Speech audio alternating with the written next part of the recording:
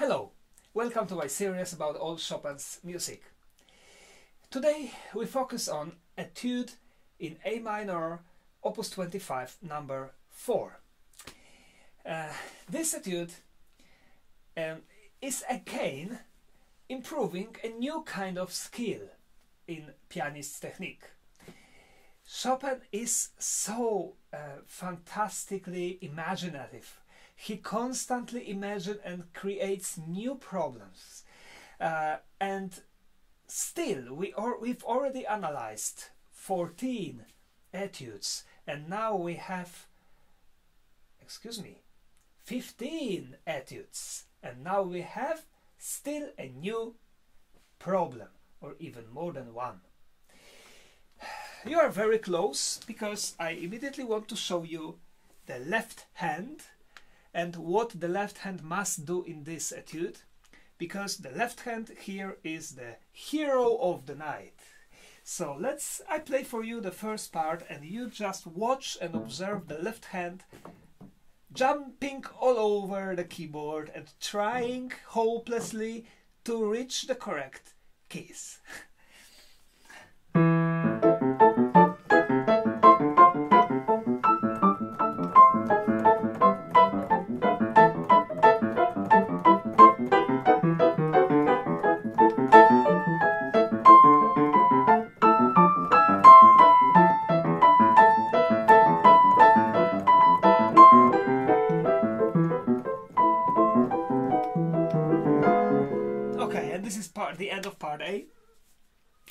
play for you only the left hand, okay? Because that's uh, much better.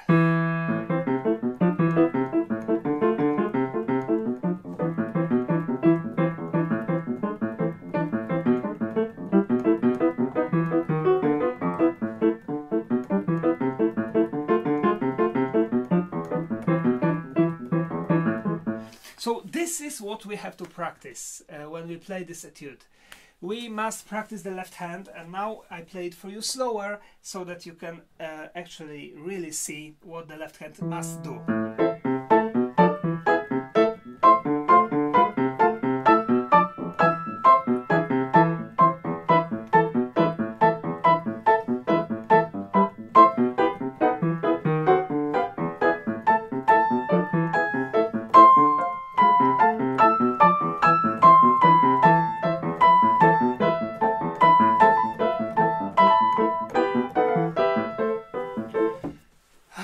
Okay, so this is the main difficulty of this etude. From the very beginning to the very end, in a very fast tempo, we have to jump from the left to the right, from the left to the right, all the time, very, very fast. But now, is it the only difficulty of this etude? Well, I thought so when I was younger. When I just listened to this etude without looking at the score, I thought, oh, this is for the left hand, left hand has to jump, it's difficult. But when some time ago I opened the score and I saw what is going on in the right hand, I was shocked. And because I couldn't really catch it when I was listening. Of course, when you know about it, then you can catch it. So hopefully after this video, all of you, if you don't know what I'm talking about, all of you will be able to catch uh, another difficulty that is in this etude. Actually, we have two difficulties, two more, at least two more difficulties. But going a little bit back to the left hand, of course, it's very difficult to uh, to hit the correct key when we are jumping. Uh, but uh, also, when we are moving very fast our hand, we get very tensed. It's a common problem, so we have to also play these jumps with a very, um, very flexible, very loose hand. So this is crucial to play this etude well, so that we don't have pain in the hand. But what about the right hand? Well, at the beginning, um, the first phrase sounds like this. We have a kind of melody in, but I wouldn't call it a melody, uh, singing. I would call it a hiccup more in the right hand because we have just short notes And the difficulty of this is that these notes are not coming for one, for the downbeat. They are always coming too late. One eight notes too late. So they are not coordinated with the left hand. Because it, it would have been much easier if the etude sounded like this.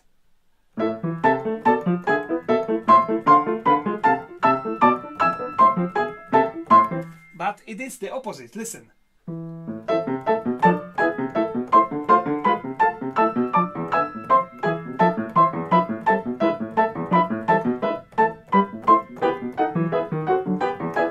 Okay, so So right hand always comes on pa. Left hand plays umpa, and on pa comes the right hand in a very fast tempo. Upbeat. It's not easy, but that's not the end. This was only the first phrase of the musical period of part A. Uh, so, this kind of melody.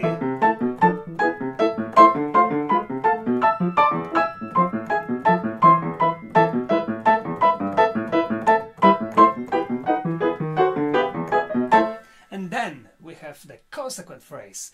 And now I want to show you something that Chopin wrote for the first and only time in all his music.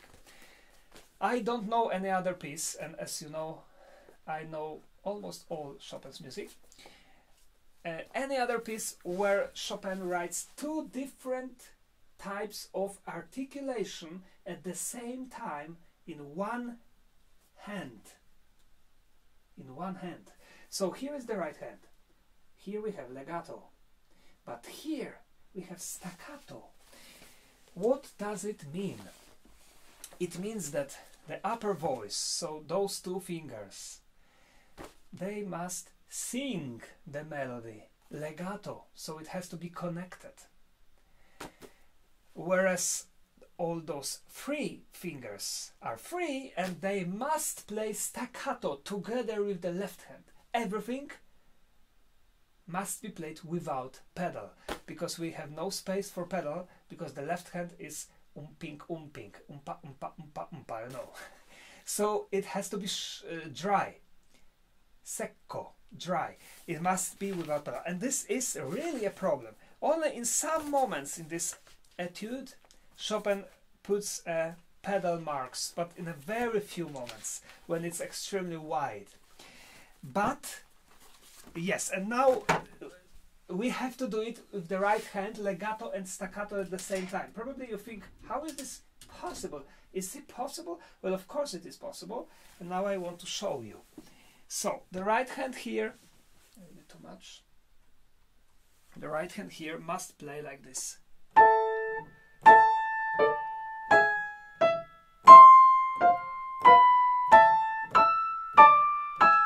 Can you see? No, you cannot see. Sorry. Once again, uh, top note legato, the bottom note staccato.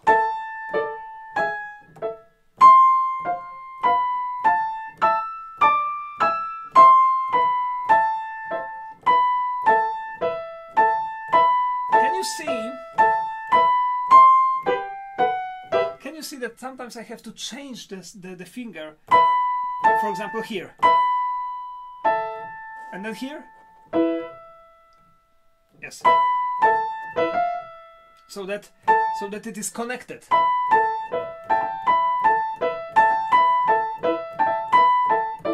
And at the same time the mm, uh, bottom notes must be played staccato. So it's another problem. We have two different articulations uh, different articulation in one hand. Terrible, terrible, right? Terrible. So um, it's not easy, absolutely not easy, but it's possible to do. And now, it's very tricky what Chopin wrote because when the pianist is playing and when the pianist played the first phrase of the musical period, and the pianist is happy. Oh, I can play the first phrase, you know.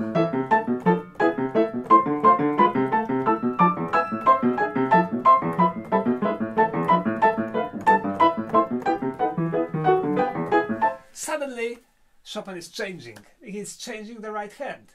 Now you show me you play legato. And this is playing with us. This is playing with the pianist. Playing with pianist intelligence. Because we have to be intelligent, because we have to constantly change the articulation. So either staccato or legato. So that's how sounds the consequent phrase played legato and left hand is the same. Listen.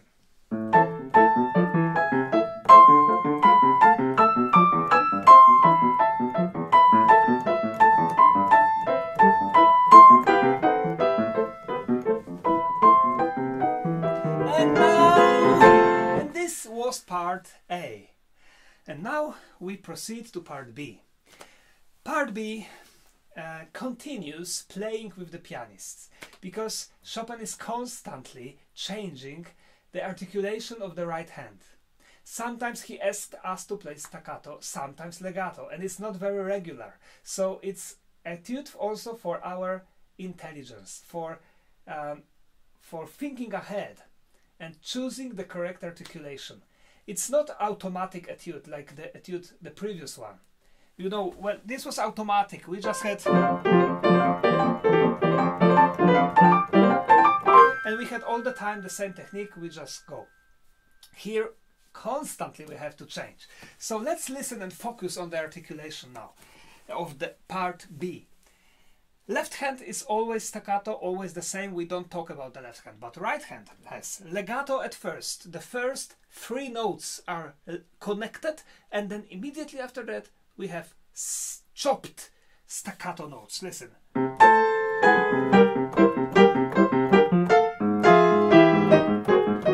And then legato.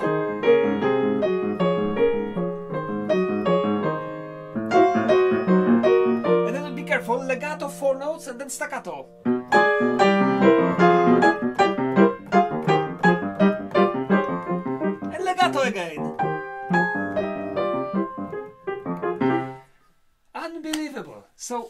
Changing, changing all the time. Let's listen again.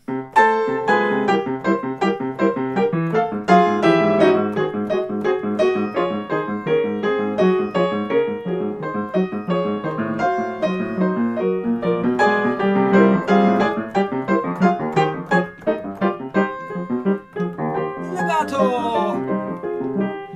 And again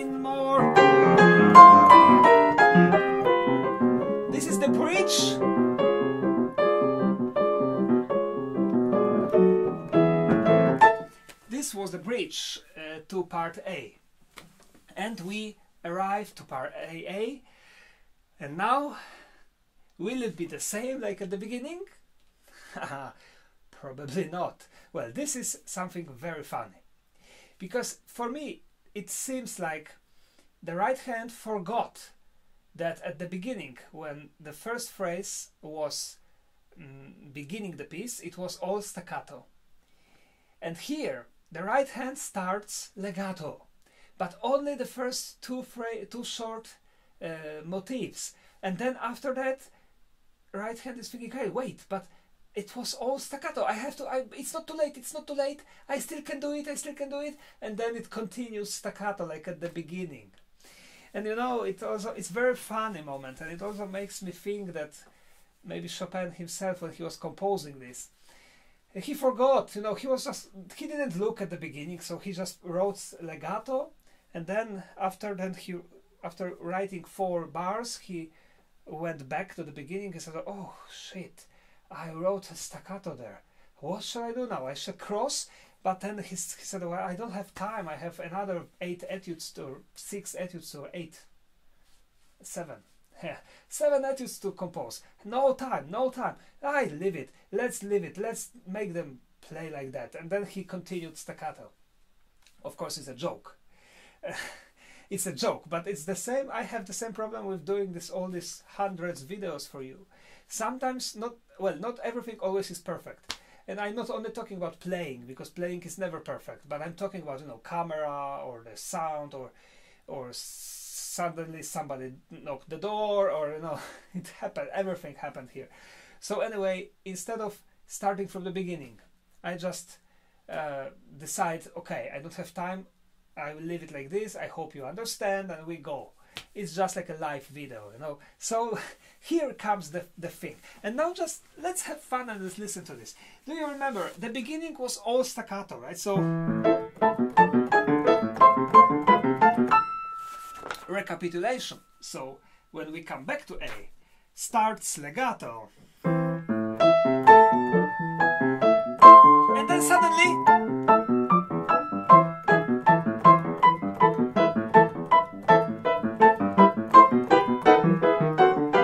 and we have the consequent phrase, legato of course.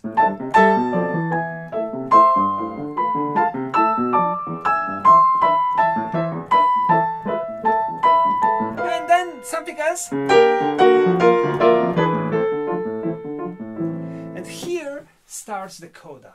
So the consequent phrase of um, the recapitulated part A is different and it brings us to coda.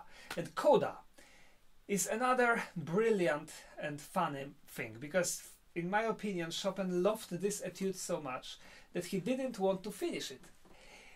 It seems like he doesn't want to finish. He goes over again and over again and over over over again the same short motif to so-called the ending motif. And we, we don't know when it will finally end you know? That's how it is written. So it seems like he had fun composing this piece. Let's let's listen to this again the whole part a uh, uh, in the recapitulation. Or actually maybe not. I will play for you soon. So just the consequent phrase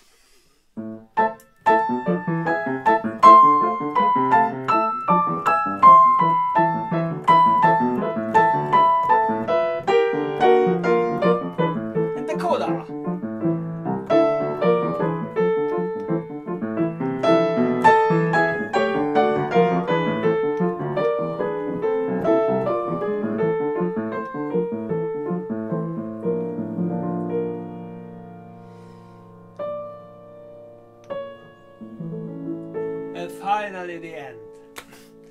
Yeah, so that's how short and how demanding and how funny this study is.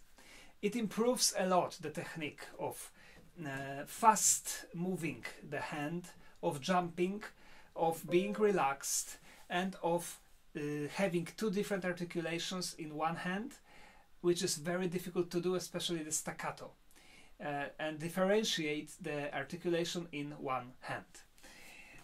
Let's listen again and focus on all this, especially the changes of the articulation of the right hand. A little slower.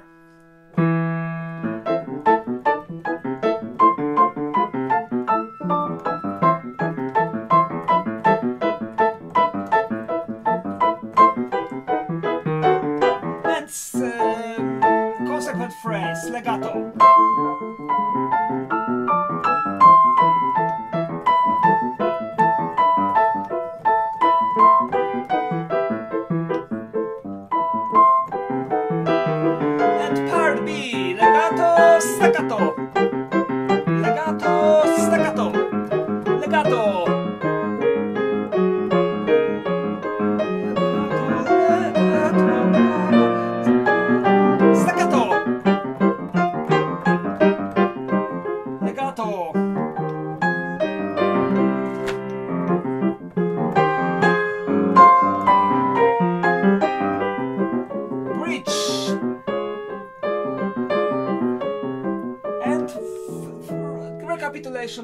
hand forgot, so plays legato.